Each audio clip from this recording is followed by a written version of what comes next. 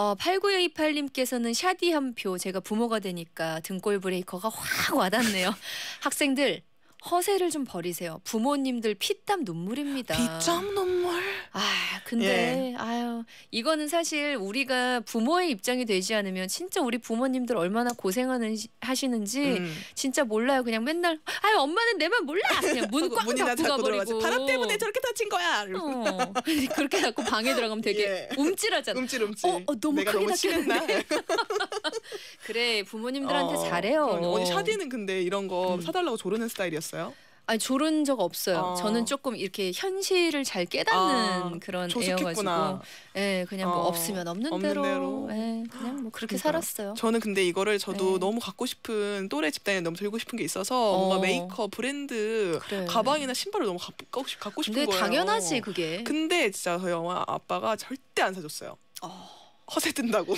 아니 근데 그건 진짜 부모님이 물론 마음은 사주고 싶으셨겠지만 괜한 이게 또 맞아요. 어, 이렇게 좀 이렇게 엇나갈까 음, 봐 괜히 그런 걸로 맞아요. 인해서 그런 마음이셨죠. 그래서 그때는 너무 서운했는데 지금. 생각해 보면은 안 입길 잘했죠. 네, 그 이후로 그래서 딱히 그런 거에 대한 생각이 그래. 약간 사라졌더라고요. 음, 네. 그래 다 감사합니다. 예. 예. 우리 5001님께서 1번 디오니소스는 방탄소년단 world tour의 오프닝 곡으로도 유명하죠. 제재님 말씀대로 무대의 스케일과 에너지가 그야말로 압권이라고 보내주셨습니다. 야 world 맞아요. 투어 때 오프닝 곡이면은 그냥 말 다 했지. 거예요. 그렇죠. 근데 이거 잘 모르시잖아요. 근데 네? 아니 따지고 보면 그거지. 예전에 제가 비욘세 공연 갔는데 비욘세 딱 오프닝이 Crazy Love예요. 아. 욘세 언니가 빰! 바람! 바람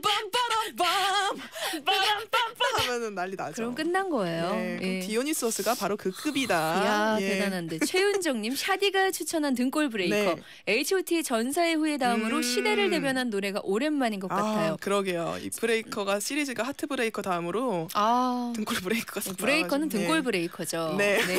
우리 고희은님 1번 제재 디오니소스. 저도 제재 씨가 얘기한 한 잔 두 잔 예술에 취해 불러 옹헤.